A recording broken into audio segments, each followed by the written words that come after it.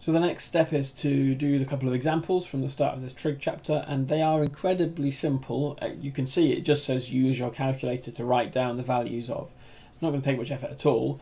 Um, the problem we have is it's asking us for sec of 280 and cot of 115, um, and the thing you need to notice is they are not on your calculator the scientific calculators and the graphical calculators, they don't have sec, cosec, and cot on them as buttons, as functions in and of themselves.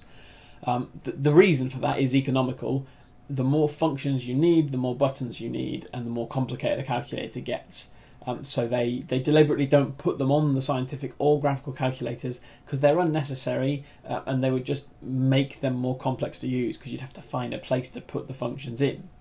Uh, so what we do is we just remind ourselves that sec of 280 is the same as 1 over cos of 280. That's the definition of it.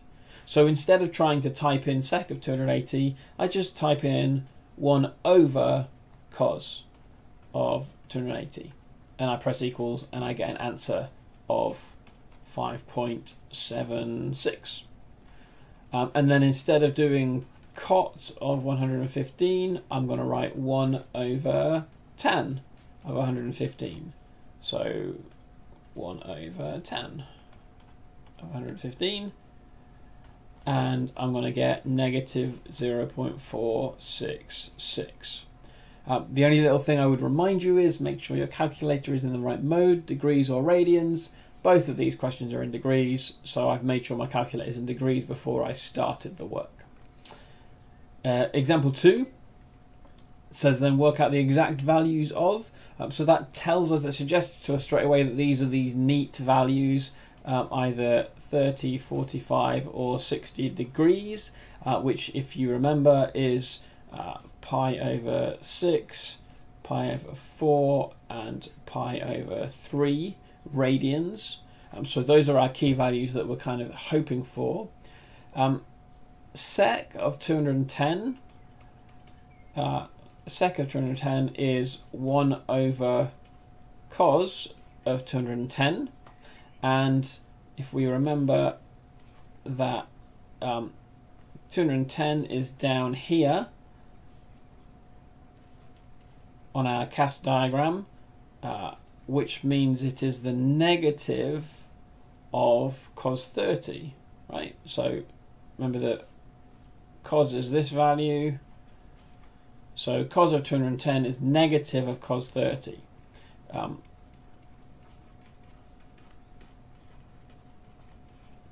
so that means sec of 210 is the same as the negative of 1 over cos 30. Okay, uh, so this is negative 1 over cos 30. And then we just need to remind ourselves what cos 30 is. Um, so cos 30 is, hopefully you recall, uh, root 3 over 2. So sec of 210 must be negative 1 over root 3 over 2. So this is the negative reciprocal of this. So this is negative 2 over root 3. But we're going to have to rationalize the denominator. We definitely don't want it in that form. So we're going to times the top and bottom by root 3. So we're going to have negative 2 root 3 over 3. Now, I've done all of that by hand without the use of a calculator.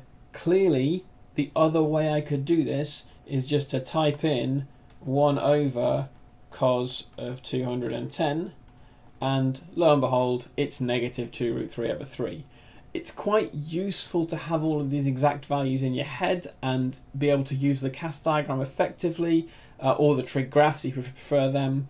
Uh, but the reality is, you have a calculator for all the papers. There's no way I would be wanting you to waste time with all this work. You need to understand it and where it comes from, but you certainly don't need to be doing this on an exam. You just use the calculator.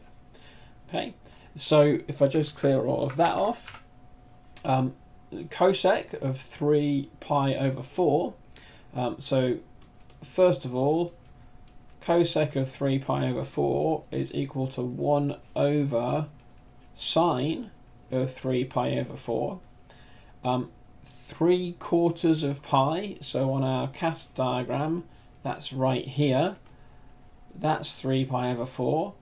Um, the sine value is the height. Um, so that's the same as sine of pi over 4. So this is equal to 1 over sine of pi over 4. Sine of pi over 4, that's equivalent to sine of 45, and that's root 2 over 2. So this is 1 over root 2 over 2, which is 2 over root 2, because it's the reciprocal. And finally, again, we would rationalize this. So this is going to give us um, 2 root 2 over 2. Oh, they cancel. It's just root 2. And again, far, far quicker would be to just tap that in the calculator. 1 over sine of 3 pi over 4. And then, oh, it's the wrong answer because my calculator is in degrees, not radians. So don't forget to change your mode to the correct one. Press equals again, and it's root 2. It's really important that your calculator is in the right mode. Otherwise, you're going to get absolute rubbish as your answer whenever these trig functions are involved. These are easy. They just tap it in your calculator, um, but you need to tap in 1 over sine or cos or tan because cosec, sec, and tan, cot don't exist on your calculator.